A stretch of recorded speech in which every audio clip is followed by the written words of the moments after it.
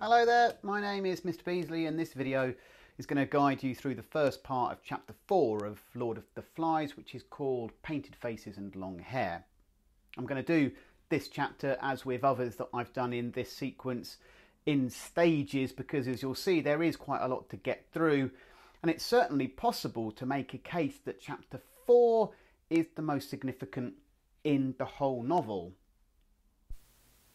there is a sense, again, that time has moved on, although how much is never made clear.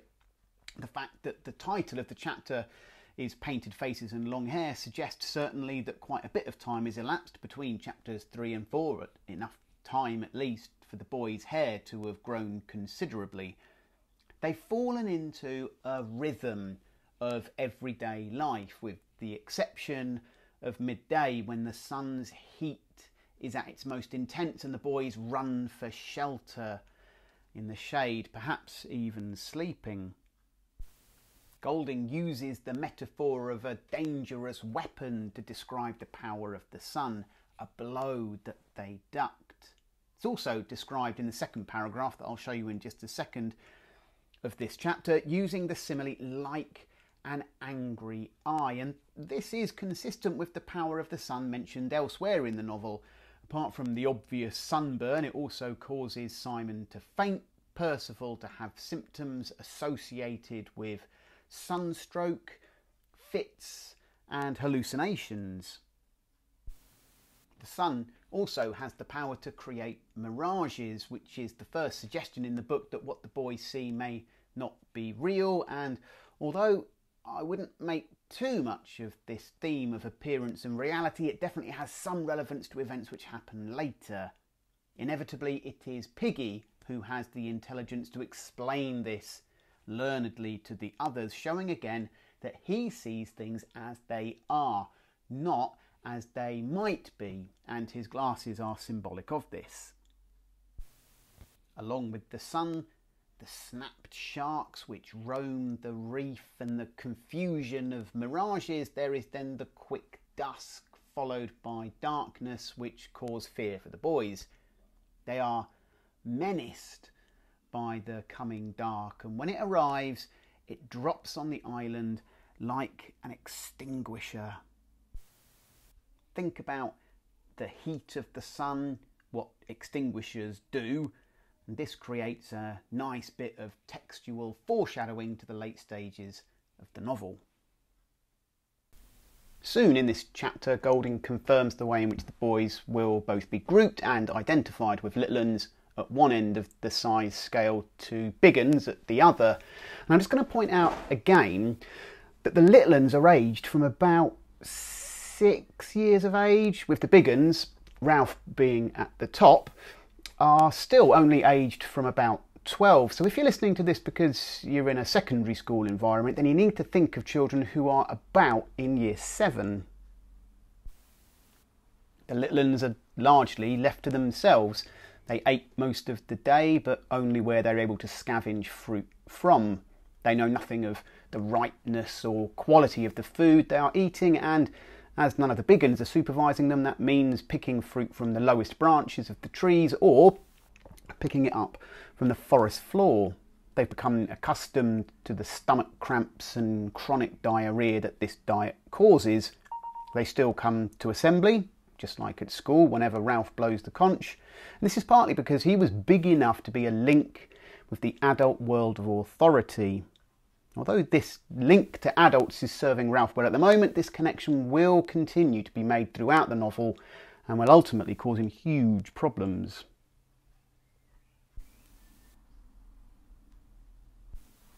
The other thing that is worth saying about the Little Uns at this point is the untold terrors that they experienced when night falls, huddling together for comfort and as I've said before, this isn't the sort of darkness that most of us will have ever experienced. There's no light pollution on this island. So when the sun sets, with the exception of moonlight, there is no light at all, and this allows the imagination of the children to create horrors from the sounds of the nighttime island. Our attention is then taken to a particular group of little uns who've been building and decorating sandcastles. The group consists of Henry, who was the biggest, Johnny, who we're told had a natural belligerence, which basically means that he was badly behaved, perhaps even aggressive, and Percival, who was not very attractive, even to his mother. The other detail given to us about Henry is that he was a distant relative of the boy with the mulberry coloured birthmark who died in the fire in chapter 2. Because Henry was the largest of the three littluns, he's described as being a bit of a leader this afternoon. And as mentioned in a previous video, the behaviour of the older boys is mirrored by the littluns, just as the behaviour of adults in the world at large is mirrored by the older boys. The fact that Henry is described as being a bit of a leader here is a theme which is picked up in a couple of paragraphs' time. For now, we see Roger and Maurice coming out of the forest. They've been on duty at the fire and have just finished their shift, so now they've come down from the mountain to the beach and are ready for a swim talking about leadership, it's interesting that Roger led the way here, and as he does so, he kicks over any of the little and sandcastles that happen to be in his way, burying the flowers and scattering the chosen stones. In other words, Roger led the way to destruction here, and as we'll see later, he does this elsewhere in the story too. Maurice follows his lead, kicking over sandcastles too, but he manages, accidentally I think, to get sand into Percival's eye. Now, this is important. Percival starts to cry. And as it says here, in his other life, Maurice had received chastisement, uh, a, t- a telling off for getting sand in a younger child's eye. And even though there are no parents on the island, Maurice still responds almost reflexively, like an instinct, to his knowledge of doing wrong, and at the back of his mind he formed the uncertain outlines of an excuse and then trotted off. Maurice is still conscious of the rules and boundaries established by the civilized society that he was once a part of. He remembers being punished and so makes an excuse Not as a fear of being punished, here there is no one to punish him, but as an instinctive response to the civilized society of authority that he is used to. When Maurice runs off, Roger remains, ominously watching the littluns, and some of the description of Roger here is certainly worth noting. He's got a shock of black hair low on his forehead, and black will always suggest something know, evil, threatening in literature. The added fact that it's low on his forehead means that it's coming close to his eyes, and in later chapters we'll see Ralph brushing hair away from his eyes too. Eyes and clear sight are a really important symbol in this story. Remember that one of the most important symbols in the whole novel is Piggy's glasses, and this connects Piggy with the idea of good ideas and common sense. The darkness of his hair and the proximity to his eyes is an early suggestion of the way in which Roger's character will develop. So, the other older boys have wandered off, but Roger waits behind, observing Henry. And even when Henry gets bored and starts to wander along the beach, Roger follows him. And Henry comes across some tiny, almost microscopic creatures, transparencies, barely visible, that have been brought in by the incoming tide and Henry comes across some tiny, almost microscopic creatures, transparencies that have been brought in by the coming tide. And Henry tries to control them, digging runnels into the sand to guide their motions. And the pleasure that he gets from this is obvious. He is absorbed beyond mere happiness for the simple reason that he is exercising control over living things. So, as I said before, the behaviour of adults is mirrored in the big uns, and the behaviour of big uns is mirrored by the little uns. This isn't an age specific trait. The desire for power and control is just simply part of human nature. So, back to Roger. He's hiding himself behind a palm tree when suddenly there is a gust of wind and a load of coconuts as big as rugby balls fall from the tree above him and land thumping around Roger. Roger doesn't think to consider how lucky he is that the coconuts did not hit him. Instead, he looks at the coconuts and then at Henry and then back again. And the significance of this will be made much clearer in later chapters, but for now you need to see how Roger has made a connection between the falling coconuts and Henry Although Roger doesn't think about his own miraculous escape, he does think about the potential danger. So Roger picks up a stone and throws it at Henry. The important detail here is that he threw it to miss. He continues to throw stones, but there is an area round Henry, perhaps six yards in diameter, into which he dare not throw. And the reason for this is crucial. Round the squatting child was the protection of parents and schools and policemen and the law.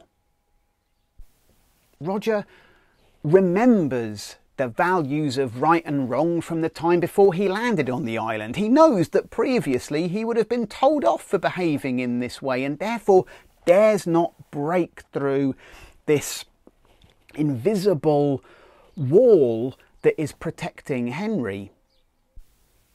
The word conditioning is mentioned, I've highlighted here, and this is complicated, but it basically refers to the way in which all of us learn right from wrong. You know, we're rewarded for what we do that's good and punished for what we do that's bad.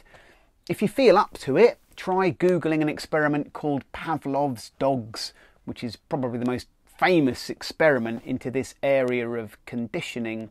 The fact that Roger's arm has been conditioned to know that he really shouldn't be throwing stones to actually hit a small child is extra interesting because, of course, the society which created these rules has been destroyed by the war, from which the boys were evacuated, which led them to be stranded on the island in the first place.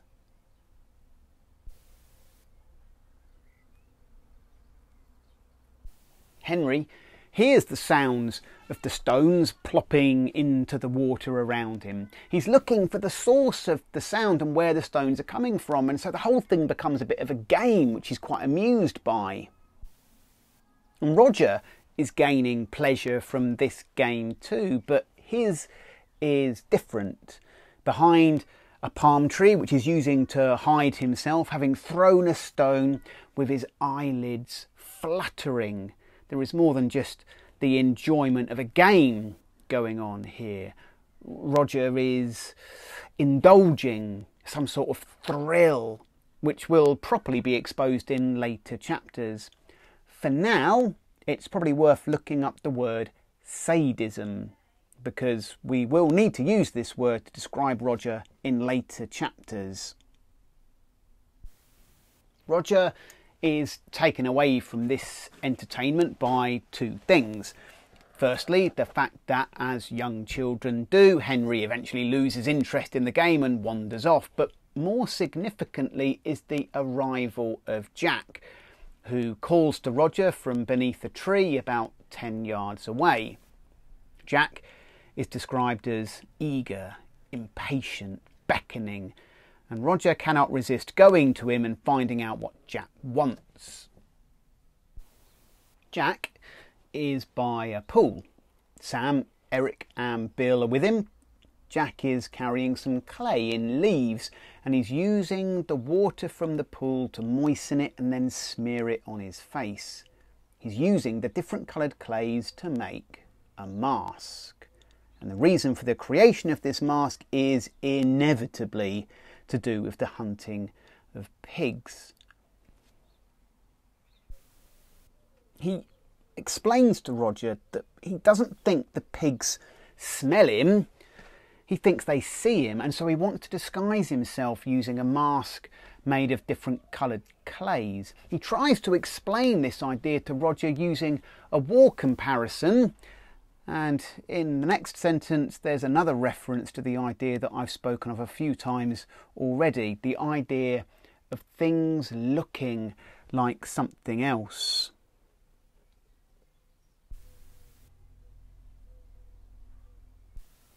A detail which could be easily missed here is that the twins move towards Jack and start to protest timidly about something, and it won't become clear until later exactly what it is that they're protesting about.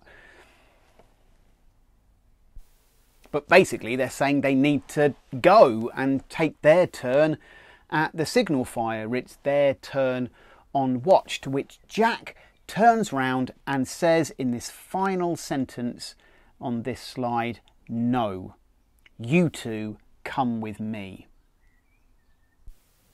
After a couple of attempts, Jack is satisfied and looks in the water, no longer at himself, but at an awesome stranger. And the adjective awesome is meant here in the literal sense as something on a grand scale, which is both impressive and terrifying. Jack's mask has made a significant difference to his otherwise civilised personality, a difference which is both impressive and incredibly scary. The impact of the mask is not only on Jack himself, but also on the watching boys. They see Jack laughing excitedly. He starts to dance around, and his laughter became a bloodthirsty snarling, like a hungry animal. And the next quotation that I've highlighted here is a really important one, but it is a tricky one. The mask was a thing on its own behind which Jack hid liberated from shame and self consciousness. And this is actually, when you think about it, probably an idea that many of us can relate to. The idea that when we're in costume or acting in a different role, it means that our own personality, the person that we really are, can be disguised and we end up behaving like the character that we've adopted rather than the person that we really are. That is what Jack uses the mask for.